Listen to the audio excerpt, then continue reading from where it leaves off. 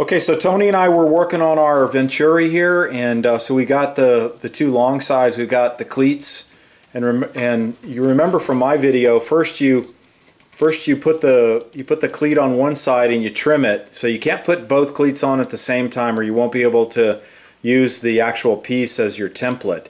So I've got the uh, second one on here, and it's running wild, and you can see uh, since since we settled on a 45 degree slope, we can use my big uh, uh, tri-square there. So I'm just going to reach in here and uh, cut this guy down with just the handsaw. You know, it just has to be, it just has to be close. So you just let these guys run wild here and then just use your Japanese saw to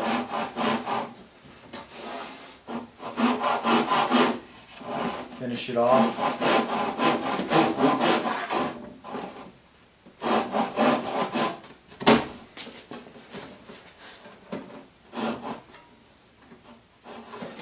Still haven't put the new blade on here, so this is a very dull blade. I don't want to cut through glue and stuff with a brand new blade.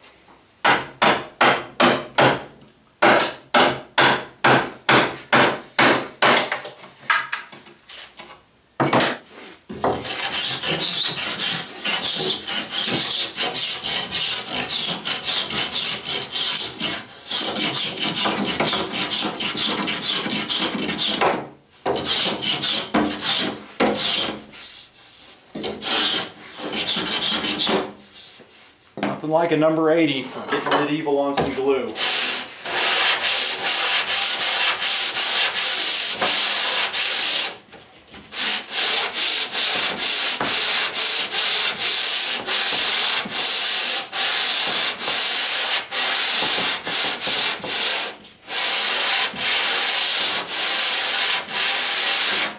All right.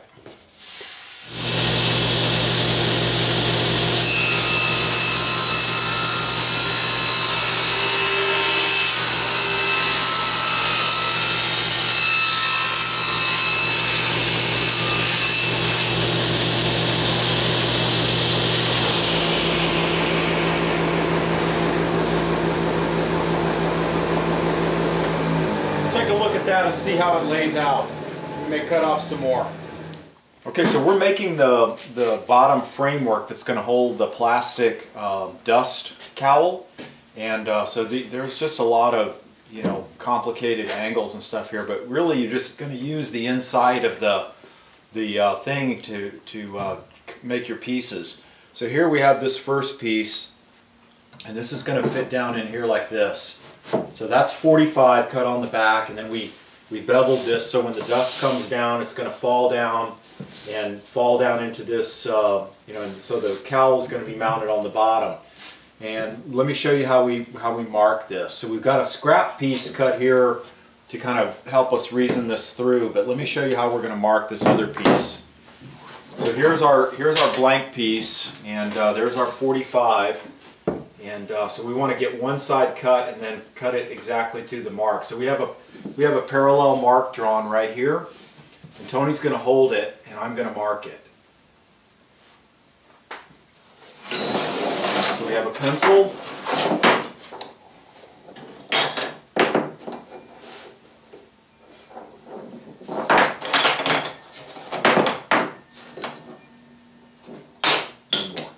So we're just going to use marking technique like this, holding the pencil parallel to the wood.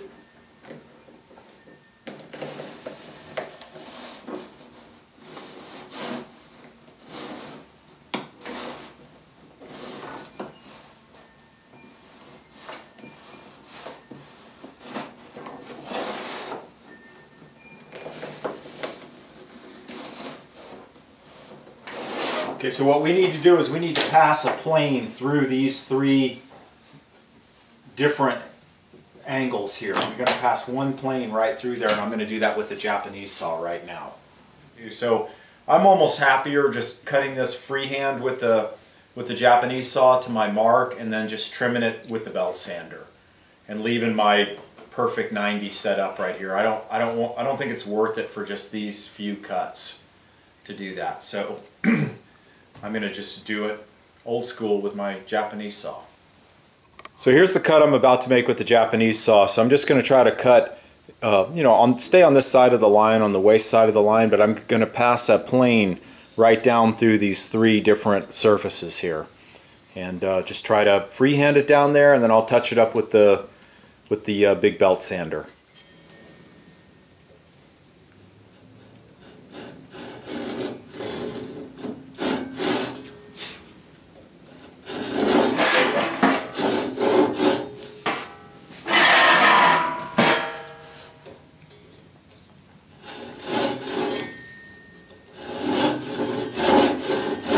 Blade's a little dull and this wood is exceptionally hard, so just bear with me here.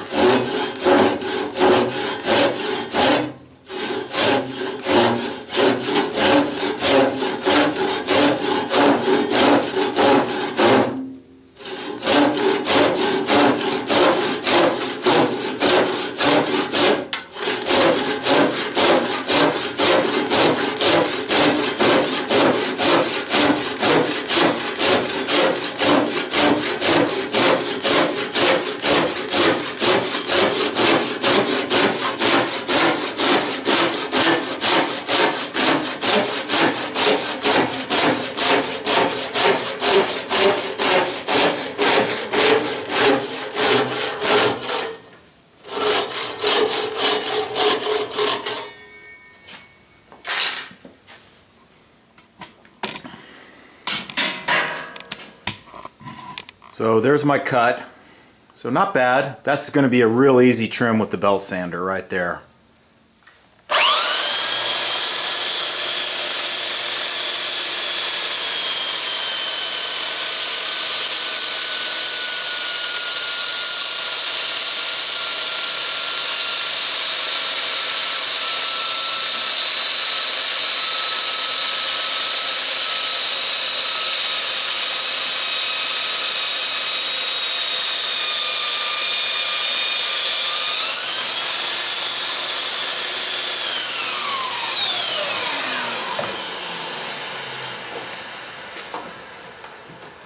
4x24 belt sander and a 36 grit belt can address a multitude of sins.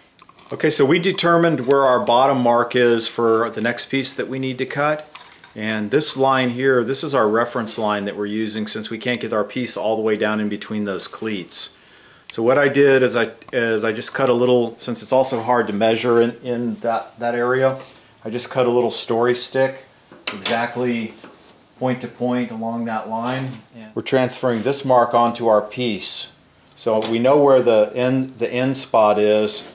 And then, so Tony will hold this, uh, so that's right there. So Tony's going to hold this exactly on our parallel line.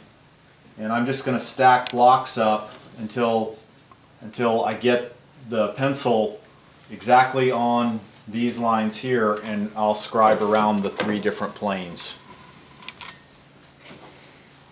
Okay, Tony, can you can you come over on this side and hold that?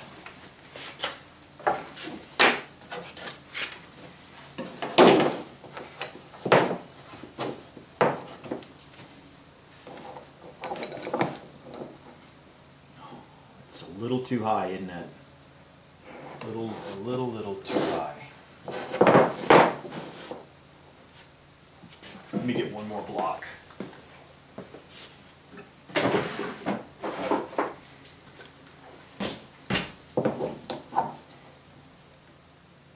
It's the same because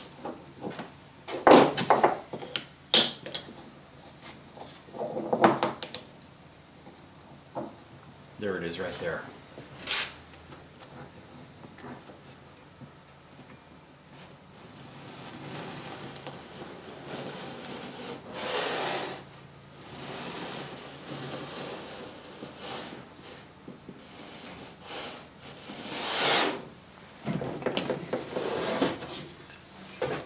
So slice through that plane like that and belt sander it and there you go. Okay, Tony and I are drilling out that we've already piloted the holes through the plywood in through our uh, through our 90 degree notch here, our, our bevel. So we're drilling out these uh, places for the T-nuts here. And I'm just using a spade bit and I'm using this as a guide to kind of drill at 45.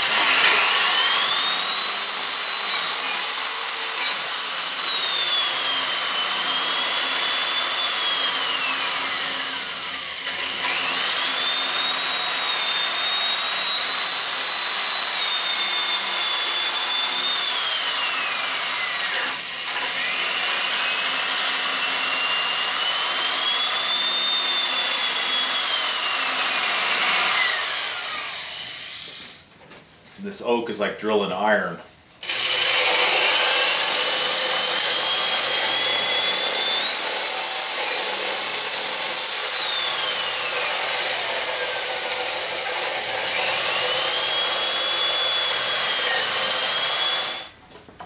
I don't use spade bits real often, but when you need them, they do a really good job at cutting weird angles like that.